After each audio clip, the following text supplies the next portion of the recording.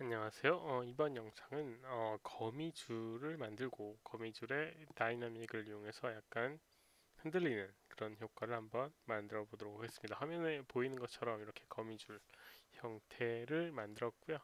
그 다음에 약간 움직이는 출렁거리는 그런 효과를 만들어 보도록 하겠습니다. 이렇게요. 새 창을 열어보고요. 처음부터 한번 해보도록 하겠습니다. 어, 우선 모델링을 하기 위해서는 어, 아까 전 같은 경우는 모델링 한 게 아니고 맵을 이용해서 이제 만든 겁니다. 그걸 모델링을 하기 위해서 뭐 할 수는 있겠지만 어, 약간 물론 그 메시가 필요한 경우에는 어, 필요하겠지만 굳이 메시가 필요 없을 경우는 이제 맵을 이용하는 게 훨씬 더 효율적인 방법일 겁니다. 그래서 이제 오젝트를 만들어 주고요. 그 다음에 맵을 한번 씌워 주도록 하겠습니다. 뭐 빛나는 재질을 넣는다라고 하면 뭐 여기 있는 블린을 이용해도 됩니다.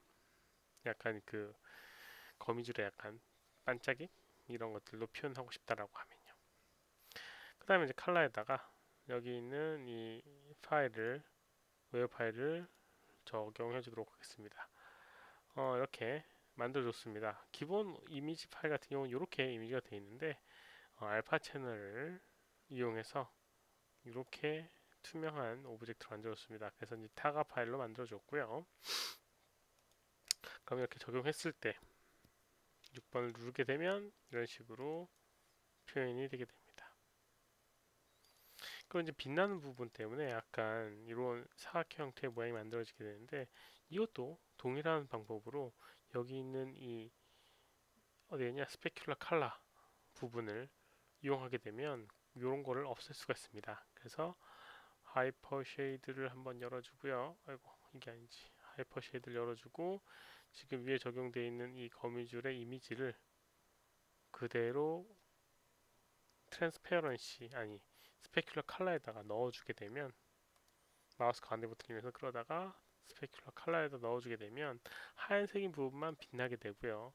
검은색인 부분은 빛나지 않게 되는 효과를 줄 수가 있습니다. 그래서 이렇게 아까 전처럼 이 거미줄 이외의 부분들이 빛나는 효과는 없어지게 됩니다. 이런 식으로 이제 해주게 되면 음, 살짝 빛나는 듯한 느낌도 만들어줄 수 있습니다. 좀 더 강하게 빛나게 하고 싶다라고 하면 이렇게 값을 줄 수가 있겠죠. 그런데 이 거미줄 이외의 부분들은 더 이상 빛나지 않게 됩니다. 이렇게 이제 표현을 해줄 수가 있어요. 그래서 이렇게 거미줄 형태의 모양을 우선 만들어줬고요.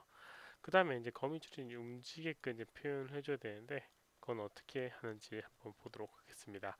뭐 여러 가지 방법이 있습니다. 제가 예전에 만들어줘 만들었던 소프트 바디라든가 이런 것들도 이용을 해도 되는데 이번에는 클로스를 이용해서 한번 해보도록 할게요.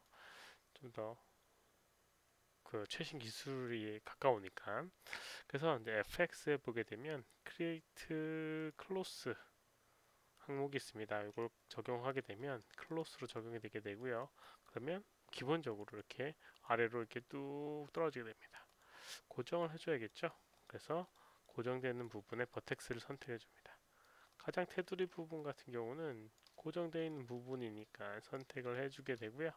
이렇게 이렇게 선택을 하고 그 다음에 constraint and constraint이라고 하는 부분에 여기 보게 되면 transform constraint이 있습니다. 그래서 locator로 지금 선택한 그 vertex들을 고정해주는 물론 고정할 수도 있고 움직여줄 수도 있는 기능이지만 고정을 기본적으로 해주는 그런 부분입니다. 그래서 가장 테두리 부분을 고정을 시켜줬고요.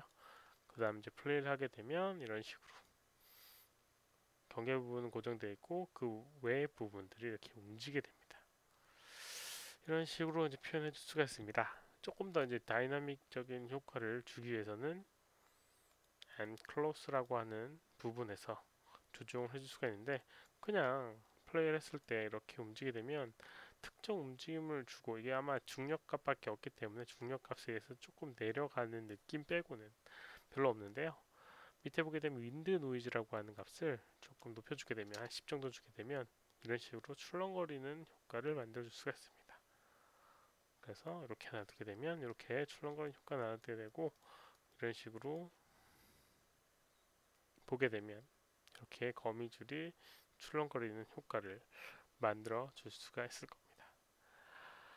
어, 이렇게 어, 거미줄 효과를 만들어줬습니다. 뭐 최근에 스파이더맨도 개봉을 해서 거기에 편승을 하기 위해서 갑자기 떠오른 그런 뭐 방법이었습니다.